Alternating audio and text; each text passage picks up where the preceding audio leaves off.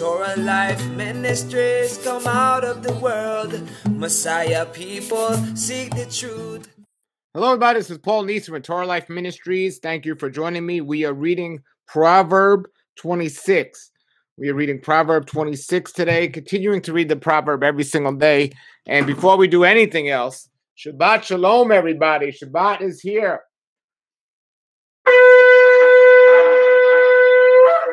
Hallelujah. Shabbat Shalom. Shabbat Shalom. My name is Paul Nison, Torah Life Ministries. And uh, there's six things we need to be doing as believers every single day.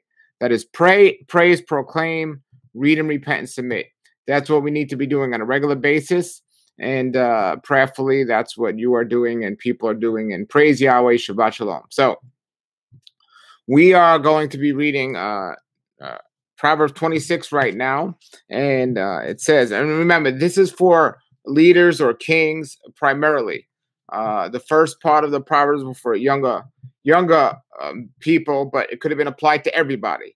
And with this, it's for uh, for for kings or, or leaders, but it could be applied to everybody. Honor is more associated with fools than snow with summer or rain with harvest. Okay. Like a, a, a, a flattering sparrow, like a flirting sparrow or a darting swallow, an undeserved curse will not land, land on its intended victim. Guide a horse with a whip, a donkey with a bribe, and a fool with a rod to his back. Don't answer the foolish arguments of fools, or you will become as foolish as they are. And there's a saying if you argue with a fool, you have two fools arguing. Uh, but it says, Don't answer the foolish arguments of fools, or you will become as foolish as you are. And one of the uh, the lessons or the things we see all throughout Proverbs is is is the tongue, having control over the tongue and and keeping the tongue uh, under control. And uh, answering a fool, arguing with foolish arguments uh, and and discussions, you're just dragged into it, and you're a fool just like others. Uh, so it says, Be sure to answer the foolish arguments of fools, or they will become wise in their own uh, estimation. So it says, Don't answer the foolish arguments in verse 4, but verse 5 says, Be sure to answer the foolish arguments of fools, or they will become wise with others. Uh, but the king is we could we can answer them and put a stop to it. Don't get in an argument with them or discussion about these foolish things. Uh, trust in a fool uh, to uh, convey a message is like cutting off one's feet or drinking poison. A proverb in the mouth of a fool is useless as a paralyzed leg. So a fool is, according to scripture, somebody that does not fear Yahweh. Do not get into discussions, arguments with, with people that do not fear Yahweh. Trusting somebody doesn't fear Yahweh is, is, is, like poison. It's, it's just going to go to waste. It's like a leg that doesn't work. Uh, honoring a fool is like foolish, uh, foolish as tying a stone to a to a slingshot. It just doesn't make sense. It doesn't work. It doesn't go together.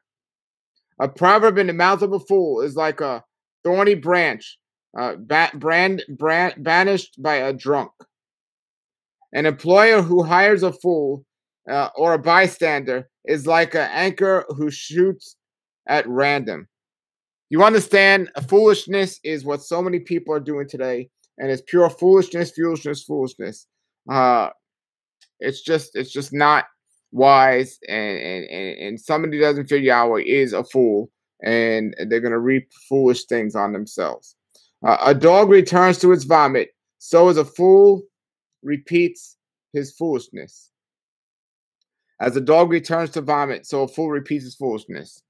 We need to fear our Creator, folks, and not the world, and not keep uh, associating ourselves with people that do foolish things. They're just like a dumb animal, uh, or or doing dumb things like animals uh, that we can't understand because that's what foolishness is. Uh, anyone who denies Yahweh and doesn't fear our Creator is a fool. The lazy person claims there's a lion on the road. Yes, I'm sure there's a lion out there. As the door swings back and forth on its hinges, so is the lazy person who turns over in bed. So laziness, not working hard is is a is another scriptural thing that that that it's against in scripture. It says here in verse 15, lazy people take food in their hand, but they don't even lift their mouth, lift it to their mouth. Lazy people consider themselves smarter than seven wise counselors. Interfering in someone else's argument is as foolish as yanking a dog's ears. Uh, so we just we just basically a foolish person is not thinking. And and and and they're not willing to well i won't necessarily they're not willing to work hard but they're just not thinking. A foolish person is not thinking. It says uh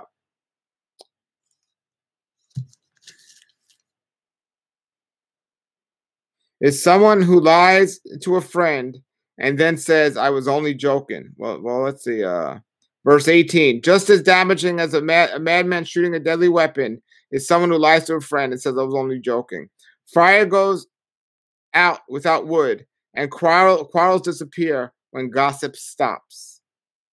A quarrelsome person starts fights, and easy as hot embers light uh, charcoal, of, of, of fire lights wood. Rumors are dainty morsels and sink deep into the heart. Uh, smooth words may handle a wicked heart, just as pretty a pretty glaze convoys a clay pot. A pot. People may uh, cover their hatred with pleasant words, but they're deceiving you. They pretend to be kind, but don't believe them. Their hearts are full of many evils. Why their hatred may be concealed by trickery, they their wrongdoing will ex- expose be exposed in public.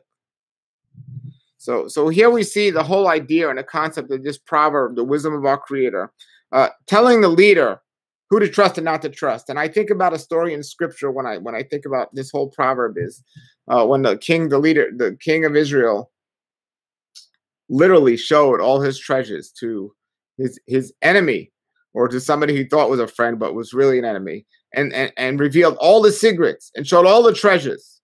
And then, of course, we know they got invaded and, and everything was taken away and uh and it's just something foolish things foolish look people that are moved by the Ruach HaKodesh, they might miss the mark, but they're not going to live a foolish life. They're seeking to live according to Yahweh's wisdom. And when you lean on his understanding and not your own understanding, that's when things get done. Uh, if you set a trap for others, you will get caught in it yourself. If you roll a, a boulder down to others, it will crush you instead. A lying tongue hates its victims, and flattering words cause ruin. So, so we not be conceived. Don't be led astray by by what people are saying or even how people look. A fool is still a fool, no matter how they look or appear. And you're a fool if you listen to a fool. You're a fool if you put confidence in a fool, and it's a very foolish thing to do. We need to to to lean on our Creator's understanding and wisdom, not our own. And uh, it says in His Bible, our hearts are, are evil, but they're also uh, foolishness without our Creator and the fear of Yahweh along with them, and His Word to back everything up. Hallelujah. So, Shabbat Shalom, everybody that's watching. Uh, every day we're doing the Proverbs live here. Wisdom, uh, Wisdom will get up to 27 tomorrow. Thank you for checking it out. And uh, please share this with us on Facebook and, and YouTube or wherever you can. And as I say often, if your Bible has any dust on it in your house, you should be ashamed of yourself. Your Bible needs to be used on a regular basis, uh, worn out better than looking new, used over and over again, always. So that's what needs to happen, folks. So, uh, so use your Bibles, read your Word, continue reading your Word. Remember, today is the holy set apart day. It's the Sabbath. Uh, it says in the Scriptures, "Don't do any work," and uh, that's foolishness according to the Word. All right, everybody, have a great day, and uh, thanks for checking us out. Until then, uh, shalom, shalom, and Yahweh bless you out of the world. Oh, my people, seek the truth, avoid the evil. Learn Yahweh's ways. Torah life ministries come out of the world.